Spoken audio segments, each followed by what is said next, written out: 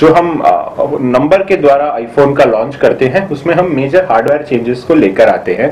और जो एस आता है दैट इज़ हम उसके इंटरनल स्पेसिफिकेशंस को चेंज करते हैं। जैसे कि आईफोन 6 जब लॉन्च हुआ था 2014 में। सो so, उस दौरान हमने मेजर आईफोन की बॉडी में हार्डवेयर चेंजेस किए। हम जो हमारा स्क्वायर फॉर्म फैक्टर हुआ करता था 5S का उसको चेंज करके जो आईफोन का आज की तारीख में एक स्टैंडर्ड इमेज है उसे लेकर के आए। तो हम जब नंबर बदलते हैं तो हम हार्डवेयर बदलते हैं। और जब हम एस लेकर आते हैं तो हम उसी हार्डवेयर के टेक्स स्पेक्स को अपग्रेड करते हैं। जैसे कि 6S 2015 में आया। तो इसमें हमने आ, पहली चीज़ इसके कैमरास को इंप्रूव किया। 8 megapixel used to be the camera size for tech specs for the 6 तो हमने उसे 12 मेगापिक्सल किया। फ्रंट कैमरा हम 5 मेगापिक्सल लेकर के आए।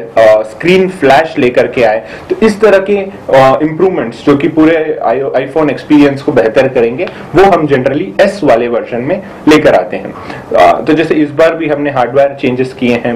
लाइक सेवन प्लस जो है, जो कि अभी भारत में फ़िलहाल उपलब्ध नहीं है, उसमें हमने दो dual lens camera telephoto and optometry lens की टेक्नोलॉजी लेकर आए हैं।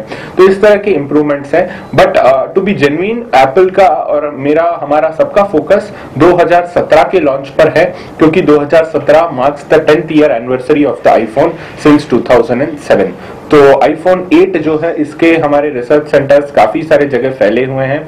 सिंगापुर इसराइल और some of the R and D centres और आईफोन 8 में आपको बहुत मेजर हार्डवेयर एक्सपीरियंस अनुभव करने को मिलेगा।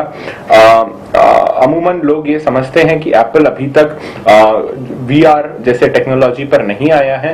दैट्स बिकॉज़ एप्पल मैं समझता हूँ, इतना ज़्यादा कंपटीशन फोकस नहीं है। हम एड्स नहीं देते या हम इस, इसके बारे में ज़्यादा बात नहीं करते। हम सिर्फ़ एक लॉन्च इवेंट के दौरान ही इसे पब्लिक करते हैं। बट वी आर लेवल पर जट इस वर्चुअल रियलिटी पर भी एप्पल का काफ़ी फोकस है। लास्ट डेढ़ साल से रिसर्च चल रहा है। तो जो आईफोन 8 रहेगा that is going to be a game changer हमने हार्डवेयर लेवल पर पूरी तरह से रिवैम्प कर दिया है इकोसिस्टम को।